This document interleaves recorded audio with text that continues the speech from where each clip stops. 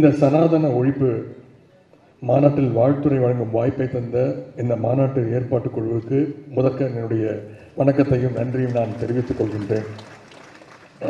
இந்த மாநாட்டுடைய தலைப்பே மிகவும் சிறப்பாக அமைந்திருக்கின்றது. சனாதன எதிர்ப்பு மாநாடு என்று போடாமல் சனாதன ஒழிப்பு மாநாடு என்று நீங்கள் இதை போட்டிருக்கிறீர்கள் இதை அழைத்திருக்கிறீர்கள் இந்த நிகழ்ச்சிக்கு பெயரிட்டீர்கள் அதற்கு என்னுடைய வாழ்த்துக்கள்.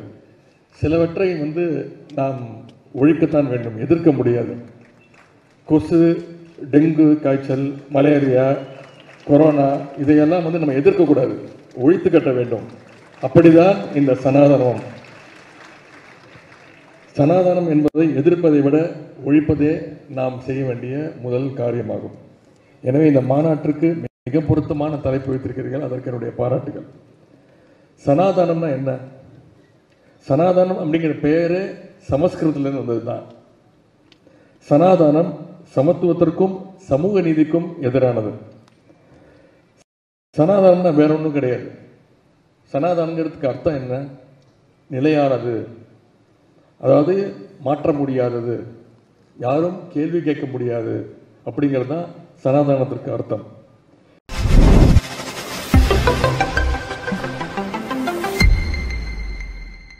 രാജ്യത്ത് ഭിന്നിച്ചു നിൽക്കുന്ന ഭൂരിപക്ഷ വോട്ടുകളും ഇന്ത്യ എന്ന പ്രതിപക്ഷ കൂട്ടായ്മയുടെ കുടക്കീഴിൽ ഒത്തുചേർന്നാൽ അധികാരം നഷ്ടമാകുമെന്ന ഭയം ബി ജെ പിയെ കടന്നു പിടിച്ചിട്ട് കുറച്ചു നാളുകളായി.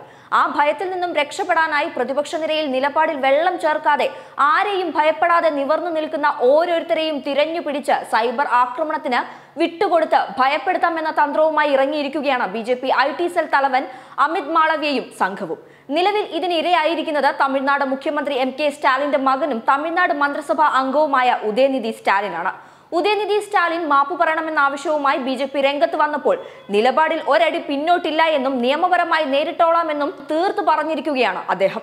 സംഘപരിവാറിന്റെ സനാതന ധർമ്മത്തെ മുൻനിർത്തിയുള്ള ജാതിമത വർഗീയ രാഷ്ട്രീയത്തെ രൂക്ഷമായി വിമർശിച്ചുകൊണ്ടുള്ള ഉദയനിധി സ്റ്റാലിന്റെ ഒരു പ്രസംഗം കഴിഞ്ഞ ദിവസം പുറത്തു വരികയും വ്യാപകമായി പ്രചരിക്കുകയും ചെയ്തിരുന്നു.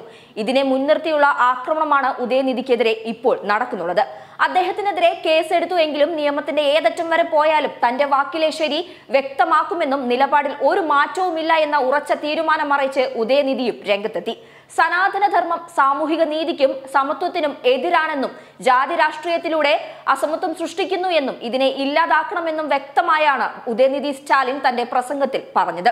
സനാതനധർമ്മം ഡെങ്കിയും മലേറിയയും പോലെയാണ് എന്നും എതിർക്കുകയല്ല മറിച്ച് തുടച്ചു നീക്കുകയാണ് വേണ്ടതെന്നുമാണ് പ്രസംഗത്തിൽ ഉദയനിധി സ്റ്റാലിൻ പറഞ്ഞു വെക്കുന്നത്. എന്നാൽ ഇതിനെ വളച്ചൊടിച്ച് ഉദയനിധി സനാതനധർമ്മത്തെ ഉന്മൂലനം ചെയ്യണമെന്ന് ആഹ്വാനം നടത്തി സനാതനധർമ്മം പിന്തുടരുന്ന ഭാരതത്തിലെ ജനസംഖ്യയുടെ എൺപത് ശതമാനം വരുന്നവരെ വംശഹത്യ ചെയ്യണമെന്നാണ് ഉദയനിധി പറഞ്ഞതെന്ന വ്യാജ പ്രചരണവുമായി B J P I T cell തലവൻ തന്നെ രംഗത്തെത്തിയതിലൂടെ സൈബർ ആക്രമണം ശക്തമാവുകയായിരുന്നു. എന്നാൽ ഇതിന് കൃത്യമായ മറുപടിയുമായി ഉദയനിധി സ്റ്റാലിനും രംഗത്തെത്തി. സനാതനധർമ്മം അനുയായികളായ ആളുകളെ വംശഹത്യ ചെയ്യാൻ താൻ ആഹ്വാനം ചെയ്തിട്ടില്ല. മറിച്ച് സനാതനധർമ്മം മൂലം ദുരിതം അനുഭവിക്കുന്ന പാർശ്വവൽക്കരിക്കപ്പെട്ട സമുദായങ്ങൾക്ക് വേണ്ടിയാണ് താൻ സംസാരിച്ചത് എന്നും തന്റെ വാക്കുകളിൽ ഉറച്ചു നിൽക്കുകയാണ് എന്നും ഉദയനിധി വ്യക്തമാക്കിയത്. കാവ്യ ഭീഷണികളിൽ ഞങ്ങൾ പതറില്ല. പെരിയാർ അണ്ണ കലൈഞ്ചർ എന്നിവരുടെ അനുയായികളായ ഞങ്ങൾ നമ്മുടെ മുഖ്യമന്ത്രി സ്റ്റാലിന്റെ സമർത്ഥമായ മാർഗനിർദ്ദേശത്തിന് കീഴിൽ സാമൂഹിക നീതി ഉയർത്തിപ്പിടിക്കാനും സമത്വ സമൂഹം സ്ഥാപിക്കാനും എന്നേക്കും പോരാടുമെന്നും ഉദയനിധി തന്റെ പോസ്റ്റിൽ വ്യക്തമാക്കുന്നുണ്ട്. നിലവിൽ ഉദയനിധി സ്റ്റാലിന്റെ സനാതനധർമ്മത്തെ പകർച്ചവ്യാധിയോട് ഉപമിച്ച പരാമർശത്തിനെതിരെ പോലീസ് കേസെടുത്തിട്ടുണ്ട്. സുപ്രീം കോടതി അഭിഭാഷകൻ വിനീത് ജിൻഡാലിന്റെ പരാതിയിൽ ഡൽഹി പോലീസാണ് കേസെടുത്തത്. തന്റെ നിലപാടിൽ മാറ്റമില്ല എന്നും കോടതിയിൽ ഇത് തെളിയിക്കുമെന്നും ഉദയനിധി സ്റ്റാലിനും വ്യക്തമാക്കിയിട്ടുണ്ട്.